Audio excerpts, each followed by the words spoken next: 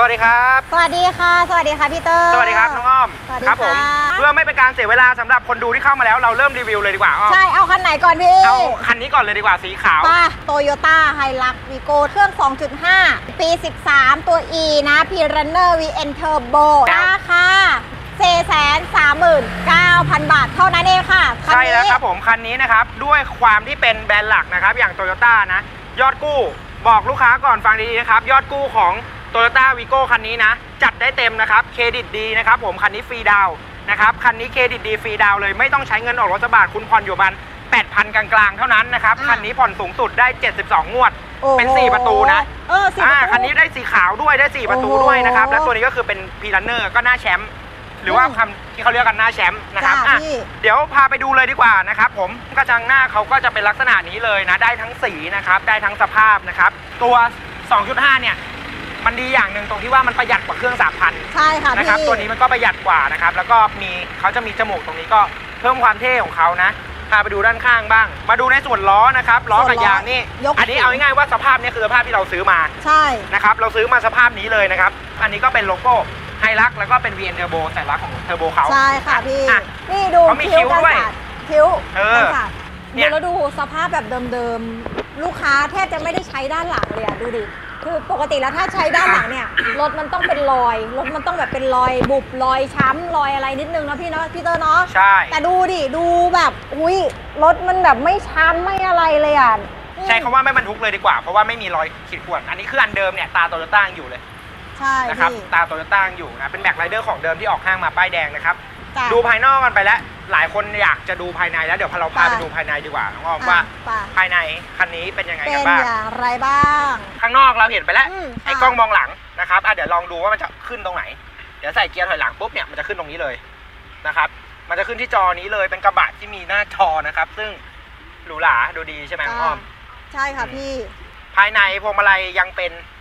อะอันนี้ด้วย เป็น multifunction นะพี่เนาะตรงใช่ นี้เอาไงเป็นรถกระบะที่พวงมาลัย multifunction ก็ค่อนข้างโอเคนะครับ สภาพภายในโดยรวมนะครับ คันนี้ก็เป็นเกียร์ธรรมดานะ ภายในเนี่ยเอ่อถ้าให้คะแนนเลยนะครับ เต็ม 5 ดาวนี่พัตเตอร์ให้ไป 4 ดาวครึ่งเลยนะครับ เกือบ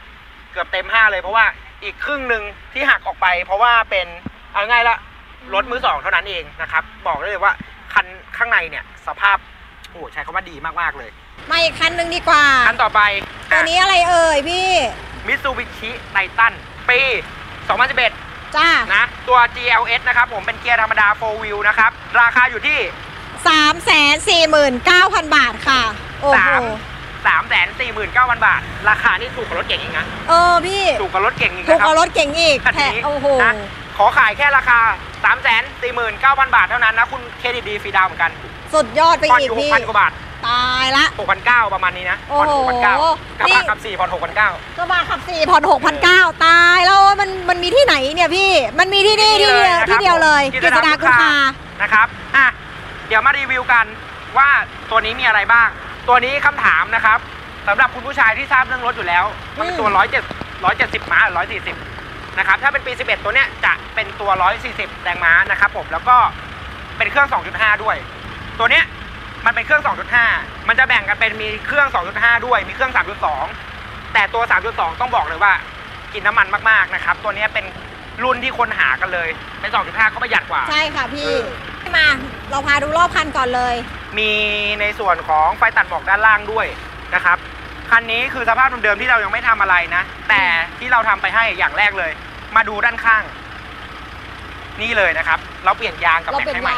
ยาเออยางให้เออใหม่เปลี่ยนยางกับแม็กให้ใหม่ โอ้โหเราพี่เปลี่ยนให้นะครับอย่างสวยเลยอย่างสวยอะแต่งนะครับคือมันแต่งเลยอะให้เลยนะครับ อันนี้ใช่เราให้เลยนะโลโก้ขับสี่ของเขานะครับ อันนี้เป็นโลโก้ของเขาขับสี่ก็แสดงถึงว่าตัวเนี้ยเป็นตัวขับสี่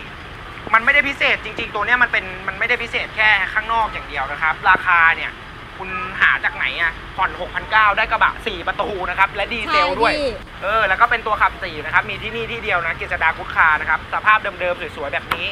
นะครับผมอะมาดูด้านหลังกันบ้าง ดูด้านหลังกันก่อนนี่ ไฟธงไฟท้ายถือว่ายังชัดเจนนะอันนี้พี่ก็ไม่สภาพมีเดิมๆรอยแตกไม่มีรอยแตกไม่ไม่มีมีอะไรอะไรนะ เลยเออ